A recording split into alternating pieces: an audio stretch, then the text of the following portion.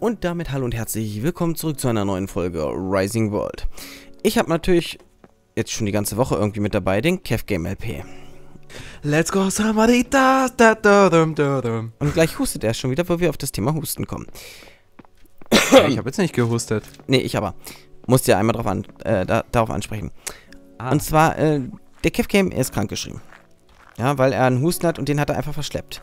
Ja, und das, das ist ja etwas, was Menschen wirklich gerne machen. Sie ähm, haben dann irgendwie so den Drang, und das, glaube ich, hast du dann vielleicht auch so, ja, statt sich zu kurieren oder so, gerade auch in der Ausbildung, ja, sagen die Leute, gut, ich äh, will mich nicht kurieren, ich habe Angst um meinen Arbeitsplatz, ist ja heutzutage richtig krass teilweise. Ja. Äh, habe Angst um meinen Arbeitsplatz und deswegen kuriere ich mich nur so weit, dass ich wieder gehen und stehen kann, ja, und dann gehe ich wieder auf die Arbeit. Und dann kann es nämlich böser zurückschlagen, als man es erwartet. Ich kann dazu eine kleine Lebensgeschichte erzählen. Ähm, und zwar, das war ganz am Anfang. Also ganz am Anfang, wo ich ähm, angefangen habe. Da bin ich im Dezember damals, bin ich da krank geworden. Nee. Nee, war Februar, sorry. War Februar. War eine Woche dann zu Hause. Also es ist so, ich habe mit äh, Montag frei bekommen. Dienstag habe ich Schule gehabt. Das habe ich alles durchgezogen. Mittwoch war ich dann krankgeschrieben, weil ich konnte einfach nicht. Es war dann auch schlimm von der Nase her. Ich hatte eine Erkältung. Bin dann zu Hause geblieben, bis zur nächsten Woche. Hab mir dann gedacht, komm Kev, weißt du, probierst du. Hab Mittwoch gearbeitet, Donnerstag ging es mir wieder scheiße. Bin ich Donnerstag wieder krankgeschrieben gewesen, bis Samstag. habe ich das nochmal gemacht. Aber da war es dann so, da habe ich mal die Woche durchgezogen. Aber Samstag ging es mir richtig beschissen. Da, da bin ich aus dem Bus ausgestiegen und hab gekotzt. Als mir echt richtig scheiße ging. Und dann war ich wieder krank geschrieben. Die nächste Woche. Und da kann ich halt dazu sagen, ich bin inzwischen so, dass ich sag, ah, wenn ich so merke, es wird nicht besser, sondern es wird eher schlimmer, ich krieg die Krankheit nicht weg, bleibe ich lieber daheim. Ich habe einen Arbeitgeber, der wahnsinnig fair ist und mich nicht deswegen rauskickt, sondern weil mit den Leuten, denen ich da Kontakt habe, die wissen, dass ich nicht krank mache, sondern wirklich krank bin, wenn ich es bin. Aber der Tor hat recht, es gibt inzwischen leider viele, die das Gegenteil machen. Genau, richtig. Weiß nicht, wie das bei dir ist, ob du da Nee, Kulanz also, hast ähm, oder. Ja, das ist halt, äh, kommt da halt drauf an, weil dadurch, dass es ein großes Unternehmen ist, du hast halt natürlich Abteilungsleiter, ne? Und da kommt es halt von Abteilungsleiter zu Abteilungsleiter an, wie der das halt vertritt, wie er das vertreten kann, ne? Weil er hat Zahlen, die muss er erfüllen beispielsweise und die kann er nicht erfüllen mit einer kranken Person. Ja. Klar, äh, das Unternehmen selber, ne, man versucht dann da irgendwo eine Lösung zu finden, denke ich mal. Mich selber hat es jetzt noch gar nicht erwischt oder so ansatzweise, aber trotzdem, ich muss sagen, meine jetzige Abteilungsleiterin, ähm, die ist wirklich, was Familie angeht, top, ja. Ich bin krank wirklich zur Arbeit gegangen, weil ich halt auch genau diese gleiche Einstellung hatte wie du. Ich möchte meinen Job nicht verlieren, ich hänge an dem Job, ne. Ich muss eine Familie ernähren. Und äh, ich bin dann zur Arbeit gegangen und wurde dann zusammengeschissen von meiner Teamleiterin oder von meiner Teamleitung besser gesagt, wurde ich dann zusammengeschissen, was ich äh, dann machen würde, weil ich würde ja die ganzen Kollegen anstecken, die haben dann vielleicht auch noch Kinder und so und dann stecke ich da die Kinder an. Und ja, dann würde dann das, die ganze Abteilung flach liegen. So müssten mal einige denken, aber nein, das machen halt die wenigsten und äh, die sehen einfach nur schlimmstenfalls irgendwelche Zahlen oder sonstige Sachen und dann denke ich mir auch so, ja, super, ne? Aber das war dann so wirklich, man hat sich da auf einmal wohler gefühlt, ja. Also man hatte dann wirklich dieses, okay, wenn ich mich jetzt erhole, dann bringe ich mehr, als wenn ich jetzt da sitze, die ganzen Leute anstecke und gegebenenfalls mehr Leute ausfallen. Ja. Ja. Es ist halt das, ja. Und weil nämlich der Kev zurzeit wieder Husten hat, bei mir ist es teilweise halt Asthma, muss man dazu sagen. Gut, das kann man halt nicht verhindern. Entweder man hat es oder man hat es nicht. Ähm, möchte ich aber an dieser Stelle davor warnen, liebe Leute, liebe Kinder, liebe Zuschauer, ja, wenn ihr auf öffentliche Toiletten geht oder allgemein Toiletten, auch auf der Arbeit oder sowas, ja, bitte, ich sage das, ja, und ich kenne das wirklich, das ist echt eklig, wo ich mir dann denke, muss denn sowas sein?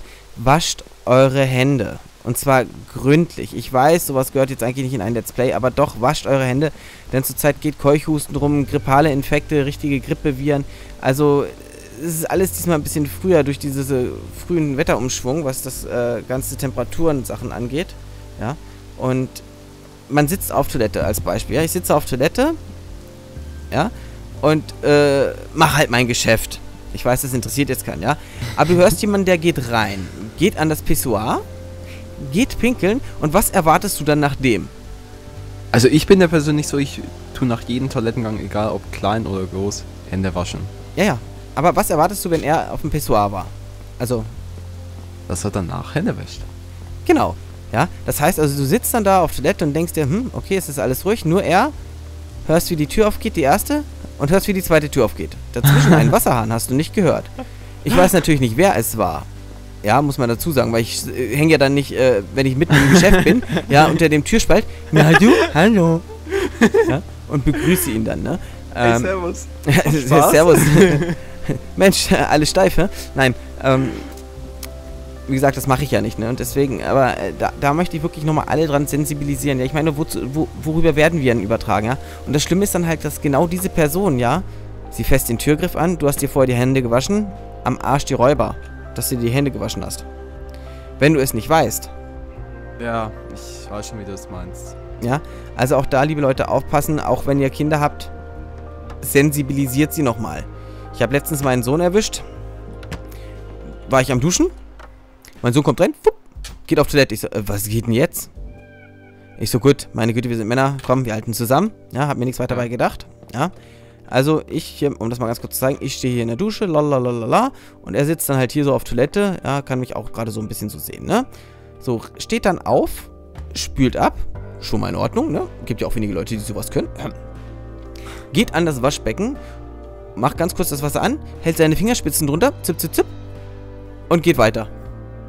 Ich so, was war das jetzt? Ja, was? Ich so, jetzt gehst du nochmal zurück, nimmst dir Seife, ja, und wäschst dir schön ordentlich die Hände. Ja. Und, äh, wenn ihr euren Kindern das beibringen wollt, es gibt da verschiedene Varianten, das zu machen. Also krasse Varianten. Ich muss ja damals sagen, also, ähm, wie habe ich das damals als Kind kennengelernt, teilweise? Äh, beim Kochen. Ich habe es beim Kochen kennengelernt. Ja, mit meiner Großmutter. Ähm, was dann halt so beim Kochen, ne? Oh, jetzt Pfeffer und Salz würzen, ne? Und wenn ihr beim Pfeffer oder so, ne, bei diesem Pulverpfeffer nicht die Hände wäscht und das ist irgendwo zwischen irgendwelchen Poren oder sonst was und gehst dir dann durchs Auge Dann. oder an der Nase vorbei oder irgendwas, das, das tut, das brennt tierisch, ne? Und genau seitdem habe ich das dann wirklich äh, umgesetzt, weil ich mir dachte, Alter, sie hat gesagt, geh dir die Hände waschen. Ich, ja, ja, ja, ja, hab natürlich auch so Larifari die Hände gewaschen, ne? Ne? Also das heißt jetzt nicht, dass ihr euer Kind nehmen sollt, äh, Finger ab ins Chili, zack, ja, so richtig schön Tabasco oder irgendwas, Habanero einmal schön über die Finger reiben, mmh. Lecker, lecker. Ja, wo dann das ganze Capsaicin sich schon eh in die Finger reinsaugt, wo das dann wirklich, also da bekommt man es dann wirklich, möchte ich gleich an dieser Stelle sagen, nicht mehr so schnell aus den Fingern. Ja, also wenn ihr eine Habanero von innen schön einmal zwischen den Fingern zerreibt, ja, äh, Leute, wartet zwei Tage, bevor ihr da mit den Fingern irgendwie ansatzweise euch den Schlaf aus den Augen macht oder sonst was. Ich will es euch nur sagen. Ich glaube gar nicht, wie oft ich gewaschen habe und trotzdem hat es gebrannt wie Hulle. Also ich probiere es mal morgen aus. Aber näher durch die Finger schmieren, dann durchs Auge. Let's go. Ja, genau. Mhm. Ach, nimm, nimm die Naga Yolokia, hast noch ein bisschen mehr Spaß. Also es geht noch mehr. Nee, aber wie gesagt, da möchte ich halt gerade auf dieses Thema hin, dieses Seuchenthema, wascht euch die Hände, egal was ist, ja. Und am besten habt ihr, gerade wenn ihr auf öffentliche Toiletten geht, ja, immer noch frisch, frische Tücher dabei oder sowas. Oder Desinfektionstücher oder sonst irgendwie so in der Richtung, ja. Ich meine, wisst ihr, wer beim Kaufhaus oder beim Elektromarkt, in dem Augenblick Mediamarkt oder so, wer da alles auf den Toiletten war und ob der auch ordentlich sich die Hände gewaschen hat und der Ja. Türgriff auch, ne? Ja, bei den Kollegen ist das ja schon immer sehr zweifelhaft, ja? Aber trotzdem. Ich meine, die, die beim Mediamarkt an der Kasse sitzen, haben ja die richtige Arschkarte. Die mit Bargeld zu tun haben. Boah. Ja? Ich Ja. meine, die müssen, ja, ich, sagen wir es mal so, man sitzt an der Kasse, man sieht den Kunden an der Kassenschlange, der Kunde hustet richtig schön einmal, am besten noch richtig schön in die offene Hand, ja, so richtig schön, ja, richtig schön die ganzen Bazillen da drin, er greift in seine Tasche, holt sein Portemonnaie raus und gibt dir dann mit der Hand, in die er reingehustet hat, dann den Geldschein oder die Münzen. Und der Kassierer muss es entgegennehmen. Mmh. Lecker, lecker, lecker. Lecker. M- Schmackofatzig, ja. Deswegen also heute die Folge Hygiene und Grippewelle und so weiter und so weiter und so fort. Genau, also wie gesagt, Leute, ähm, nicht verschleppen. ihr müsst halt natürlich aufpassen beim Arbeitgeber. Wir beide haben jetzt so Arbeitgeber, die. Also wie gesagt, ich habe damals auch Ärger bekommen, sagte so, ja, wieso bleibst du nicht gleich zu Hause, wenn es dir scheiße geht? Also bleibt lieber zu Hause, bevor ihr es verschleppt und dann am besten statt ein oder zwei Wochen drei oder vier zu Hause bleibt, weil damit ist niemandem geholfen. Oder andere angesteckt habt. Ja. Notfalls konsultiert euren Arzt, euren Hausarzt, geht mit ihm das ordentlich durch. Er kann euch dann erklären, wie das am besten oder wie der weitere Verlauf ist. Und dann seid ihr da auch auf Nummer sicher. Wie gesagt, ihr könnt natürlich trotzdem probieren, falls ihr zum Beispiel eine Woche krank wart und euch denkt, ja, ich probiere jetzt mal, wie es ist. Könnt natürlich trotzdem mal, äh, trotzdem mal einen Tag oder so arbeiten. Aber falls ihr merkt, nee, ist noch nicht weg, dann gleich wieder zum Arzt. Würde ich halt empfehlen. Ja, genau. Das sehe ich genauso. Ah, ich sehe gerade, wie der Reperian hier gecheatet hat. Kleiner Cheater, der. Kleiner Cheater. Haben wir noch kurz Zeit? Ja. Dann habe ich noch eine andere Sache. Und zwar, das ist jetzt ein bisschen abseits von dem, aber das ist eine Sache, die mich verwundert hat. Und zwar, ich habe eine Gear VR. Das ist quasi so eine Virtual Reality Brille von Samsung. Die habe ich damals geschenkt bekommen, weil ich S7 vorbestellt hatte und so ein Quatsch halt. Genau.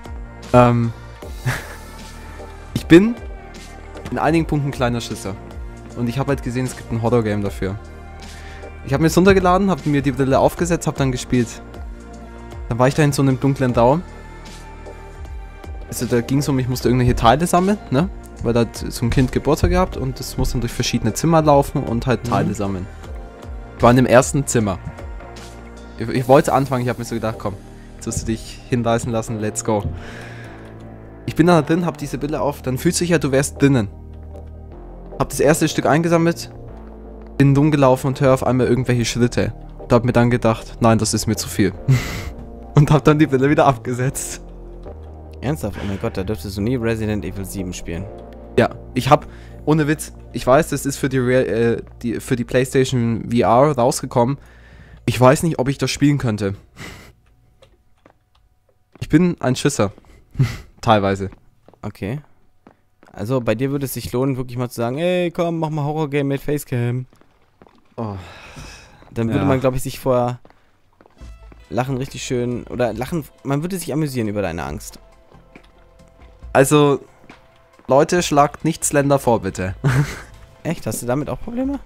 Ich weiß nicht. Ich könnte mir so vorstellen, wenn ich so einfach rumlaufe und auf einmal der Typ vor mir steht, dass ich, dass ich ziemlich krass erschrecke, ja. Also ich hatte, ich habe mich einmal erschrocken, das war ähm, bei dem äh, Spiel, oh Mann, das war im Schnee. War das einzige Horrorspiel bei mir. Da habe ich mich erschrocken und das auch nur, ja, weil die Katze neben mir auf meinen Tisch gesprungen ist. Bis voll vertieft und so weiter. Eigentlich passiert gar nichts, ne? Und auf einmal irgendwas Schwarzes neben dir steht, neben dir, fump. Und ist einfach auf meinen Tisch gesprungen, dieses blöde Vieh. Ich bin so zurückgeschrocken, ja. Weißt ich hatte während des ganzen Let's Plays nicht wirklich so große Angst, aber dann auf einmal so BAM! Weil halt wirklich die ganze Zeit irgendwas. Es war ruhig und dann auf einmal pup, Schwarz-Schwarzes neben der. Alter, ich war fertig. Ich war fertig. Aber okay, gut. Äh, Horrorsachen und so weiter. Anderes Thema, andermal. Genau. Ich bedanke mich ganz herzlich und sage bis zum nächsten Mal. Und ich bin euer Tro. Und ich habe wieder nichts gemacht, außer rumgerannt und ein bisschen beim Reperion geguckt. Haut rein. Tschüss. Danke fürs Einschalten, haut rein und ciao.